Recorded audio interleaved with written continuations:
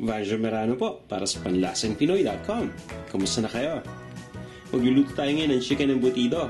At ito yung mga ingredients na gagamitin natin para sa ating dish araw na to.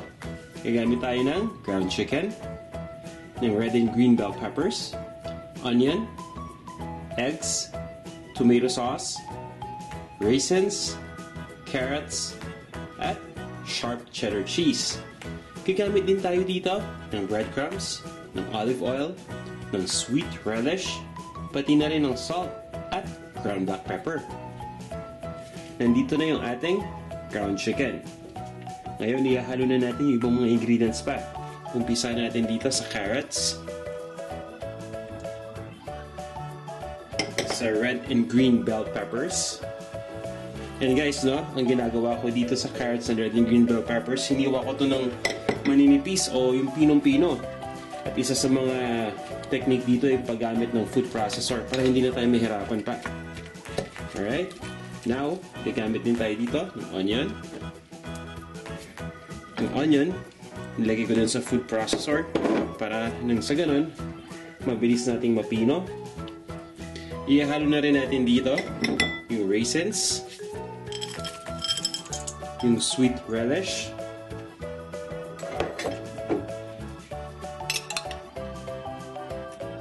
Pati na rin yung cheese.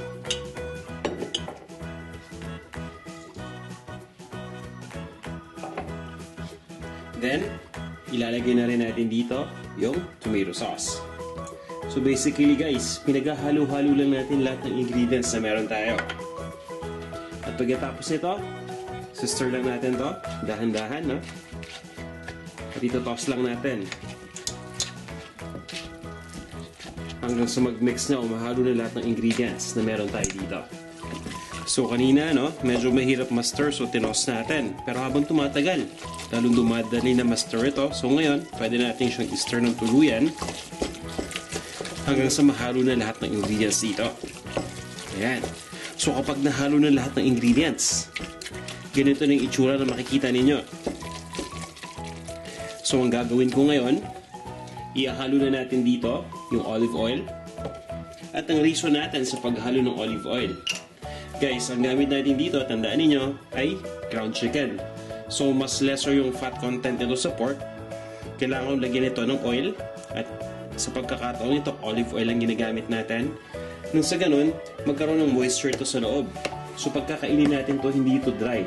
Para mas pleasant ito sa ating uh, panlasa, no? So, pag kinain natin ito, medyo may konting moist. So, nilagay ko na dito yung olive oil. At ihalo ko na rin dito yung ating ground pepper at yung salt. So, ito yung ating ground black pepper. At ilalagay ko na rin dito yung salt. Ito ko yung seasonings natin, no? Na, na tumutulong sa pangpalasa dito sa ating chicken embutido. Hahaluin lang natin ito mabuti. At pagkatapos, ilalagay na natin yung ating binder.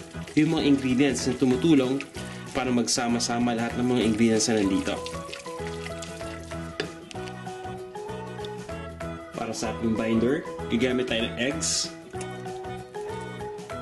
At gagamit din tayo dito ng breadcrumbs. Pagdating sa breadcrumbs, pwede kayong bumili ng ready-made na breadcrumbs na. Pwede yung ordinary breadcrumbs or yung Italian breadcrumbs. Or kung meron kayong mga extra dyan na tinapay sa bahay, pwede kayong gumamit ng tinapay.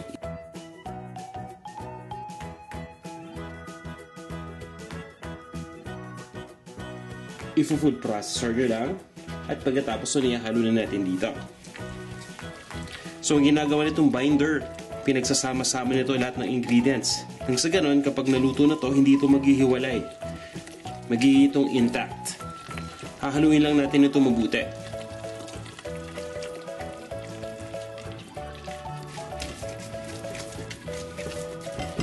Alright guys, pagkatapos nating mahalo lahat ng ingredients natin, pwede na natin itong i-roll sa aluminum foil.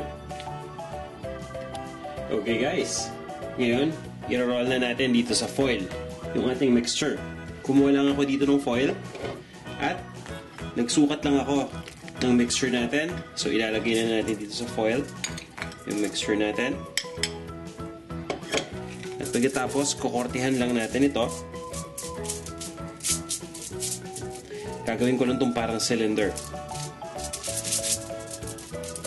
At hindi importante dito kung maganda man o hindi yung pagka-roll yun ninyo.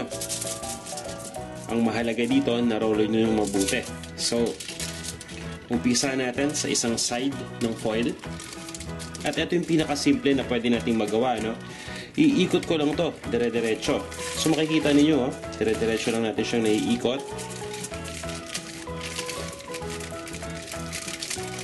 At pagkatapos nun, isisil natin yung first end ng foil.